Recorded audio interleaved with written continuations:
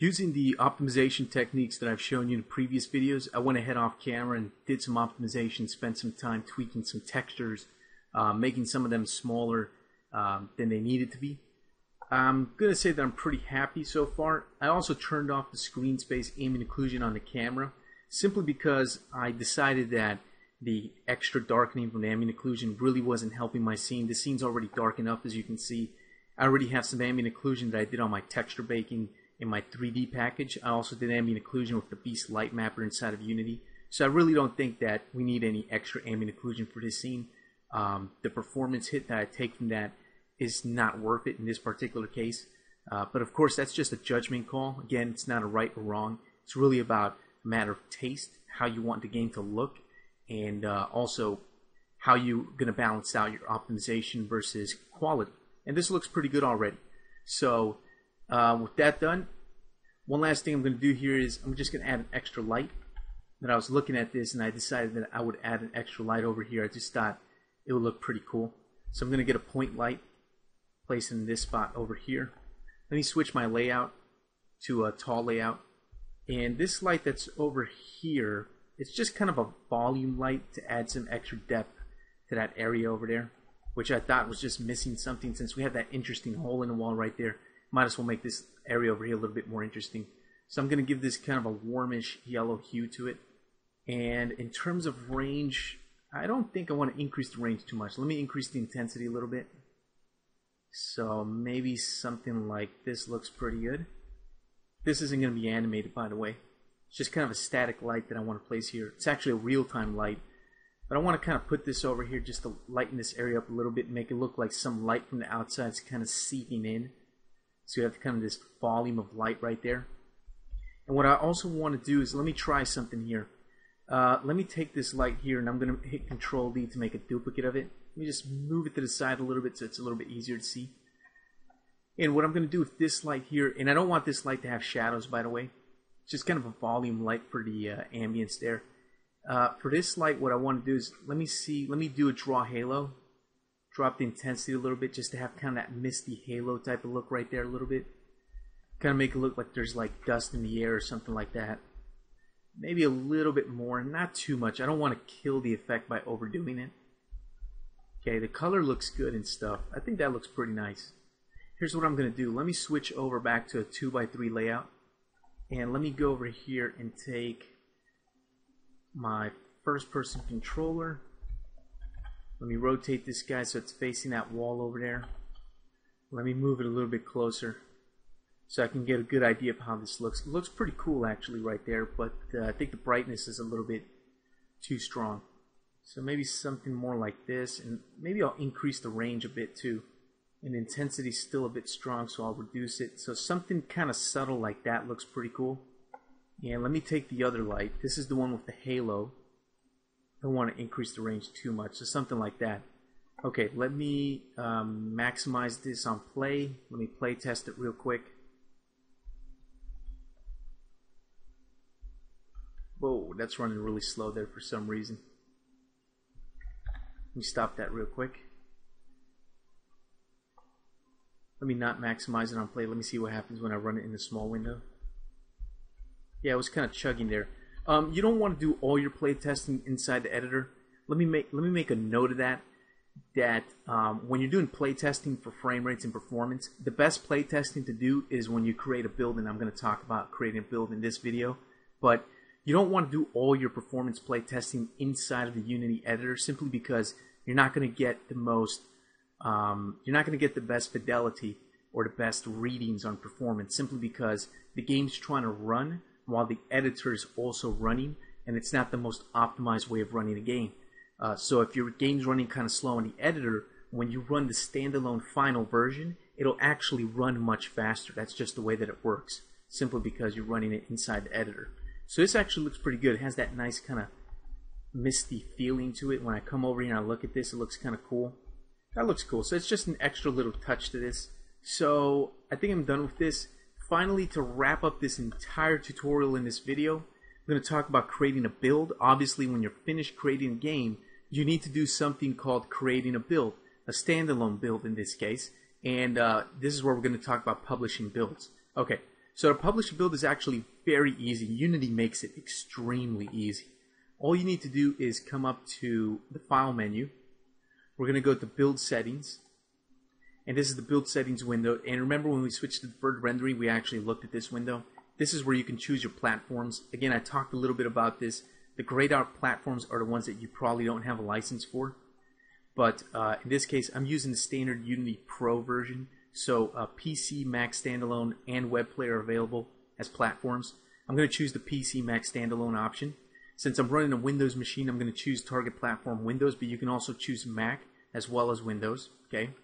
And when I choose that, I'm going to go to the player settings. That's going to open up the player build settings over here in the inspector. This is where you can do some pretty interesting things. You can put your company name, your product name. I'm just going to call this the Game Sample Unity 3 from i3 Tutorials. You can also set up a default icon. Okay, so um, you can create an icon for your game and actually put it here, and that actually be a pretty good thing to do. So how can you create an icon? Well, there's probably 101 ways of doing that. One simple way that I'm going to use just for this tutorial is I could take uh, hit print screen on my keyboard, take a screenshot, and then uh, go into like something like Microsoft Paint or uh, Photoshop or something like that and create an icon, uh, which I'm going to go ahead and do. So I'm just opening Microsoft Paint here after I hit print screen and I'll just hit control V to paste and here's the, the screenshot here. What I'm going to do is I'm going to crop. So I'm going to take the selection tool here and let me crop. Maybe I'll crop this area right here. We're going to hit crop just to crop that out so we have kind of this image right there that'll represent our game. And go ahead and save this out. I'm going to save it into my Unity project directory. Okay, so I saved that as game icon, which you can see right here. Here's the game. I simply just saved that in Microsoft Paint. So I called it game icon. Let me go back to those build settings. So I'm going to come over here and I'm going to select that game icon. There it is. Okay, so let's go down here. Resolution and presentation. We can select the uh, default resolution we want to run the game at. I'm going to push this to the max. I'm going to go with 1920 by 1080. Uh, standalone player options, default full screen. I'm going to check that on so the game runs at full screen. Um, let me see here. Display resolution dialog. I'll enable that. Supported aspect ratios. You can go through your aspect ratios of which ones your game is going to support. I recommend leaving them all checked on. If you go to icon over here, you could set up more uh, icons. For example, you can hit an override for the standalone and you could set up individual icons for the high res for the different sizes like the 32 by 32 I'm going to leave it at default we can also set up a splash image okay so we can come in here and create a new image just for the splash if we wanted to I don't want to go ahead and do all of that I can just reuse my game icon over here obviously you'd want to take the time to do a really cool splash image but in this case I'm just moving quickly here the rendering settings I'm going to leave alone. I've already got it set to deferred rendering, which is what I want. And that's pretty much it. Once I've got the player settings set up how I want, I don't want to go to build and run because if I go to build and run, what's going to happen is it's going to build the game and it's going to automatically launch it. And if it launches it with Unity running over here in the background, the game's going to run pretty slow, and that's not what I want. So I'm going to hit build, so it builds it, but it doesn't launch it. I want to launch it manually myself. I'm going to build it right inside the Unity projects directory. Um, you can give it any name you want. I'm just going to call it game test, and it's going to be an exe file in this case. Hit the save button, and Unity is going to do everything for you automatically. It's just going to go ahead and build the game. Now, the more complex the game, the longer it's going to take to build. This is a pretty simple game, though, so it should only take a few seconds to build it. When it finishes, it's going to launch the folder where you save the game to. And you can see here it is game test exe, and there's my icon image. Remember that? So I'm going to go ahead and uh, launch the game but I'm going to close Unity when I launch the game because I don't want uh, Unity to be running in the background while I launch the game. So if we do launch this game, you're going to get this configuration, the standard configuration window. Um, that's the default. There's my splash image. Remember that? I use the same icon image. You can use a different one if you want. Um, you can choose here screen resolution. By default, it's going to 1920 by 1080 because that's what I chose. And then I can hit play to start playing this game. So basically, I switched uh, recording software. Uh, this one does a much better job of capturing the frame rate, even though it still looks a bit choppy. Um, but when I play this in real time on my system without recording or anything like that, it actually plays a lot better than what it might be represented in the video. So you can see all the nice lighting. There's the sun shafts and stuff, which is an image effect on the camera, which we placed earlier, if you remember. Uh, if we come up these stairs right here, we can come in the warehouse and we can see everything. Those uh, internal lens uh, effects look really awesome. Uh, you can see all the nice lighting, the ambient lighting there from the light maps. If we go up here up the stairs, we can see the really cool animation on the lights, which makes it look, uh, just gives it a lot more mood and atmosphere. Looks really awesome, actually. And uh, here's all the details and everything, and it's uh, looking pretty good. So we uh, went ahead, we set this all up, created a build, and then we can uh, just double click the exe to start the build and, and play uh, play a game on uh, on a PC or Windows system. So the game again it ran pretty good, looked looked excellent, ran a pretty good decent frame rate, um, ran at very high quality settings. All I've got all the bells and whistles going on. Got good performance, good quality, looks great. That's going to do it for this entire tutorial. Thanks a lot for joining me in volume 1. Um, going to be looking at releasing more volumes on next-gen game development with Unity. There's still a lot more to touch. Game development is such a huge, huge topic.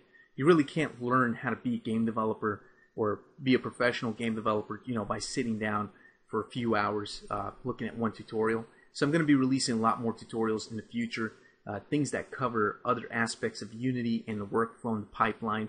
So thanks a lot for watching. Thanks for your support. Um, I hope you enjoyed uh, this tutorial and I hope you learned a lot from it. A lot of work went into this tutorial. It took a long time to do. It was a lot of R&D and a lot of work. And I hope you learned a few things here on Next Gen Game Development for Unity 3.0. It's a great game engine. I hope you join me again in the future for uh, more Unity and Next Gen Game Development tutorials, which I'm looking at uh, releasing in the near future. Uh, if you have any comments, questions, or suggestions, please come by the i3 Tutorials forum and you can post something there and we'll have a look at it and try to help you out if any questions you have or or uh, if you got uh, any suggestions for future training you like to see. We always love to take that into consideration for uh, future training. So thanks a lot and hope to see you soon.